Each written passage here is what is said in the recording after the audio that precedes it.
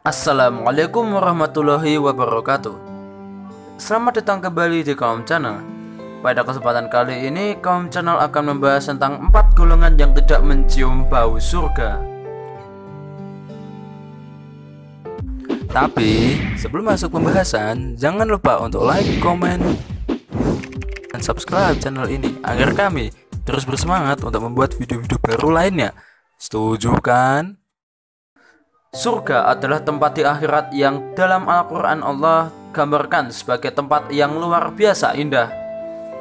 Dan setiap makhluk yang beriman kepada Allah pasti berharap untuk meninggalnya ketika mereka sampai pada kehidupan abadi di akhirat kelak. Melalui Al-Quran, Allah telah menjanjikan kenikmatan tiada tara dan tak bisa terjangkau oleh bayangan manusia. Namun, untuk menggapai surga itu, ada harga yang harus kita bayar, yaitu ibadah dan amal kebajikan.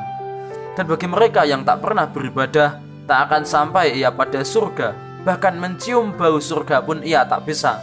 Ada empat golongan manusia, mereka tak akan dapat bau surga, padahal bau surga itu dapat dirasa sejarak 500 tahun perjalanan lamanya. Mereka lah orang-orang yang pelihara kekikiran, orang yang suka menyebut-nyebut pemberian, peminum minuman memabukkan, anak yang pada orang tua ia durhaka. Jika seseorang memakai parfum, kita akan mencium bau wanginya bila berada di dekatnya. Apabila agak jauh darinya, bau harum tidak akan tercium. Bila ingin kita menikmati bau harumnya, maka kita harus dekat-dekat dengan dirinya. Itu sudah sesuatu yang wajar. Surga adalah kebaikan. Surga bagaikan seorang wanita yang memakai parfum dengan bau yang sangat harum. Keharuman surga tercium hingga jarak yang sangat jauh. Kita tidak dapat membayangkan berapa jauhnya jika disebutkan 500 tahun perjalanan.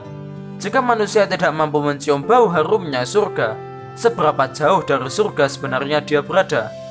Mengapa ada manusia yang demikian jauhnya dari surga? Surga seperti wanita cantik berbau harum tersebut tidak mau dekat-dekat dengan mereka yang tidak disukainya. Misalnya, wanita tersebut tidak suka dengan perokok, maka ia akan berada jauh dari si perokok tersebut. Surga akan menjauh dari orang yang dibencinya, atau orang yang dibencinya akan dijauhkan Allah dari surga. Siapa saja sebenarnya manusia yang dibenci surga, sehingga mereka harus jauh-jauh dari surga, yang untuk mencium baunya saja harus berjalan selama 500 tahun. Mereka adalah orang yang selalu kikir, tidak punya sifat kedermawanan sama sekali, kekikirannya dipelihara malah dari waktu ke waktu ditingkatkan. Juga orang yang tidak ikhlas dalam melakukan pemberian.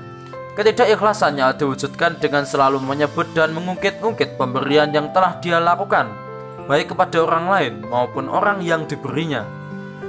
Kemudian orang yang hobi minum. Sudah jelas mulut mereka bau, otak mereka kacau dan bicaranya ngelantur. Jangankan surga, wanita di dunia saja akan takut dan menjauh terhadap pemabuk seperti itu. Dan terakhir adalah anak yang durhaka kepada orang tuanya. Anak seperti ini memang keterlaluan dan sudah selayaknya dijauhkan dari surga. Anak yang tak tahu balas budi, sudah susah payah dihidupi dan dibesarkan malah mendurhakai. Allah akan marah karena keridoannya adalah keridoan orang tua. Anak yang durhaka tidak akan mendapat keridoan Allah, Artinya, tidak akan mendapatkan surganya.